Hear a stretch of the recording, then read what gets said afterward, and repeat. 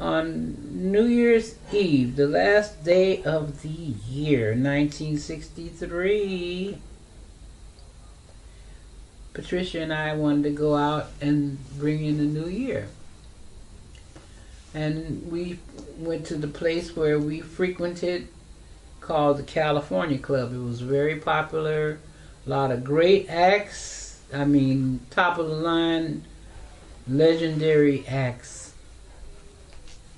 appeared at that place. No cover. Just go in and see them for free. Great artists. This evening we went and Ike and Tina Turner and their 28 man revue were performing. So Pat and I, we had a front, we was up front sitting. Ike and Tina Turner's band was playing and Tina and the Ikettes, they was rocking it, you know, slinging their hair and had these, uh, you know, those dresses we used to wear with the fringe?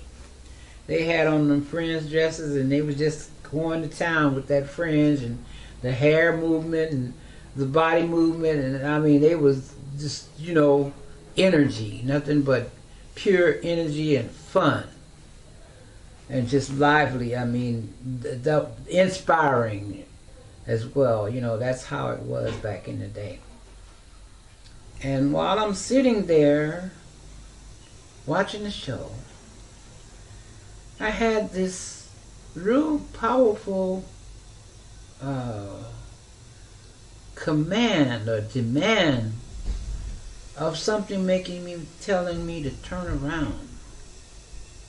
Something strong was telling me to turn around. Well, I turned around and my eyes and his eyes met. And we stared at each other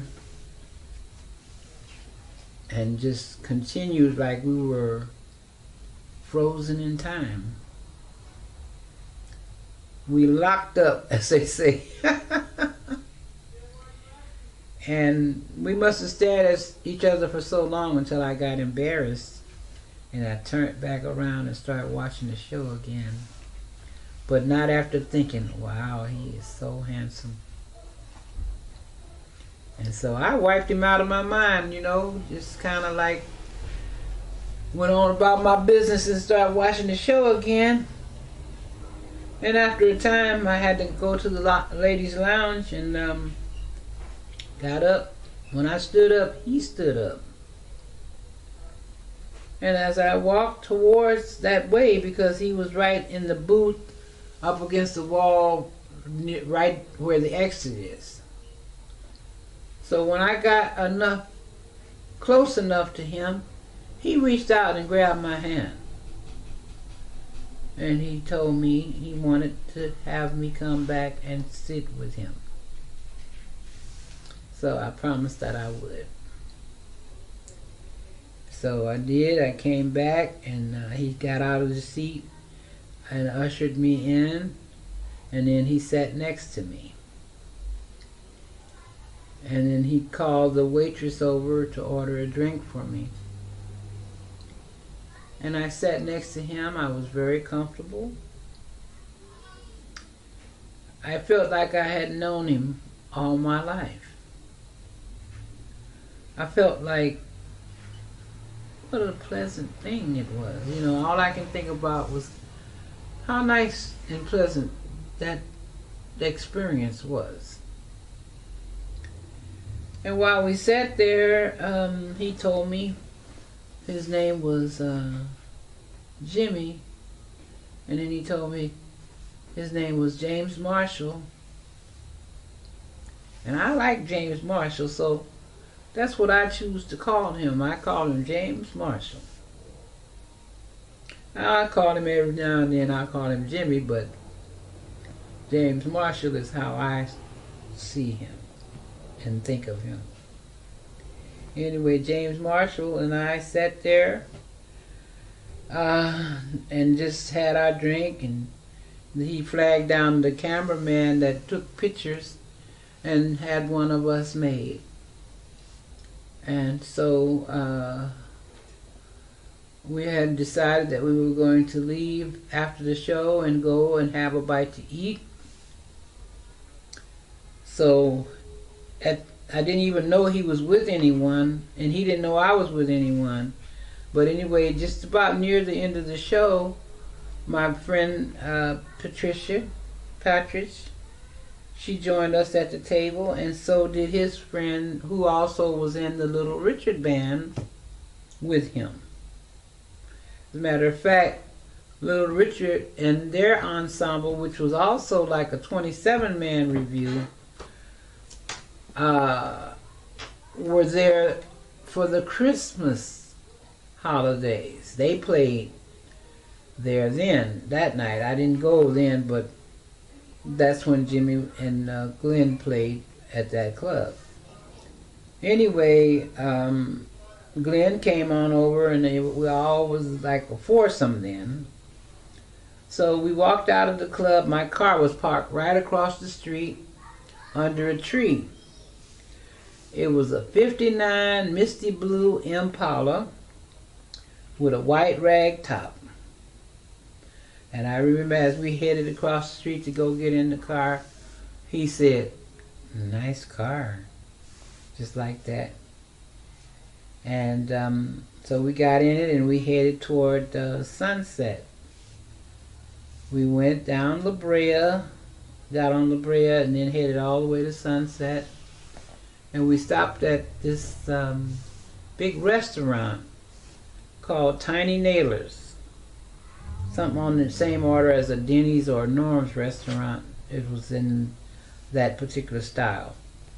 Had the red booths inside, big bay windows where you could look out on the streets and see all the people moving around, the buzz and the traffic and everything.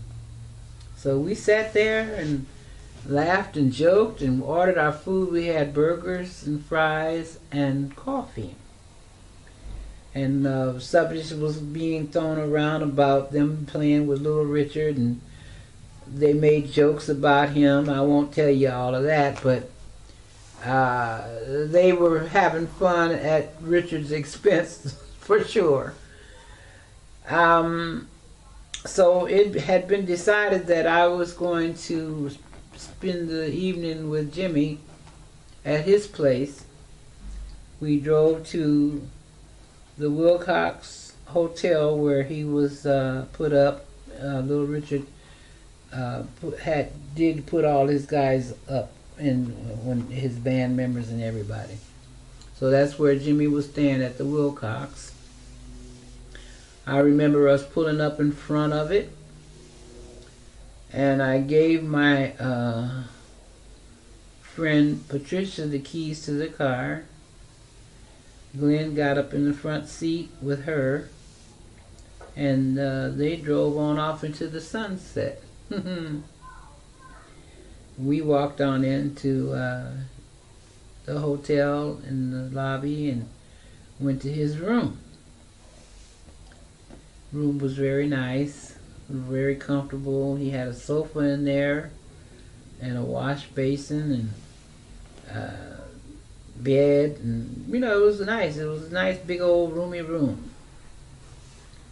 So um, we sat there and talked some, and he got to picked his guitar up and started playing a few things and I didn't even know he was a musician, you know, until after we got together at and we're at the um, uh, restaurant. Actually, you know, I while I was sitting there uh, in the booth with him, you know, at, in the club, nothing came up on the, being a musician, you know.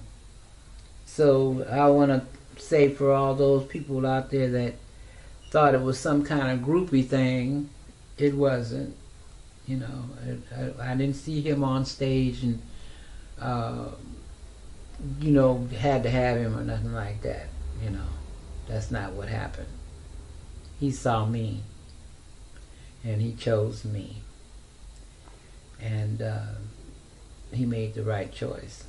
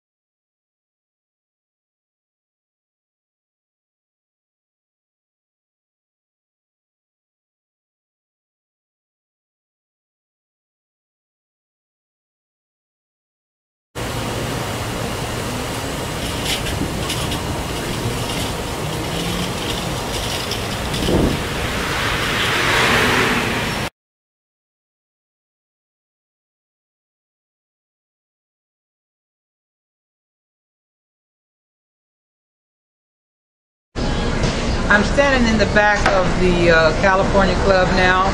This is where all the uh, buses used to pull in in the back lot and uh, unload the equipment and the people and the instruments, uh, cases, drums, and whatever they needed to put together for a show. Whether it be keyboards, you name it, they had it on that bus, brought it here so that they could put on a spectacular show. We're right here at the California Club. This brings back so many wonderful, wonderful memories. I spent a lot of time here. They had some of the best artists of all time. I mentioned um, Ike and Tina Turner. Etta James was here. Uh, Johnny Guitar Watson was here.